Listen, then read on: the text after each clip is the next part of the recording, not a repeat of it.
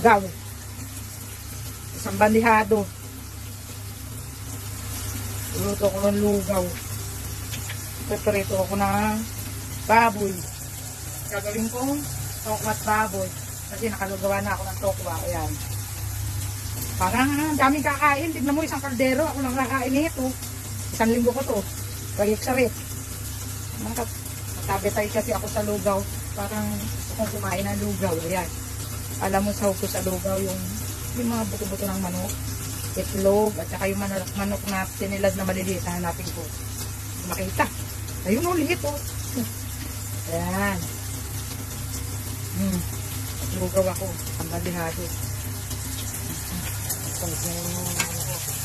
Gagawin ko naman dito. Sasama sa tokwa lang. Para lang merong ano lang.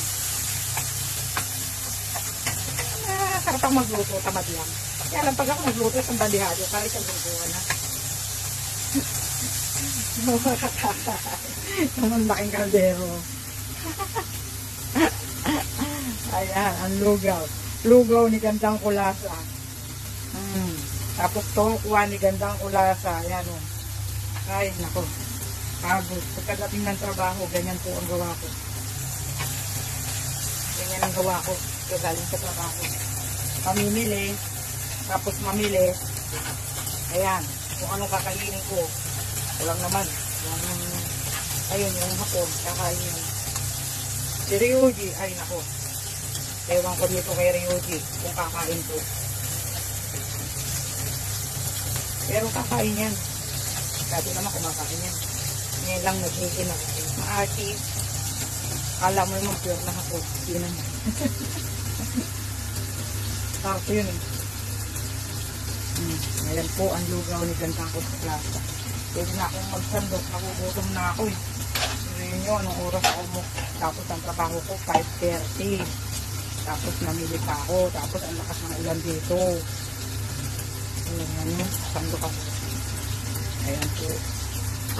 Ayan. Ayan, ang sasandukin ko. Puro, puro buto-buto. Gusto ko kasi yun, eh, buto-buto. Ayan ho, puro buto-buto. Kakain ako. Kakain ako si gandang kulasa. Ayan ho. Isang itlog. At ang lugar, okay.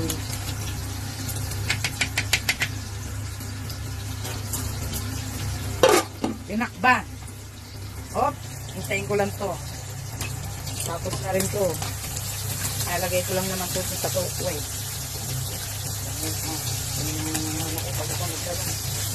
Tapos kung kumain si Ahmad, maglilinis kami ng kusina. Ganyan yan. Ay. Babu.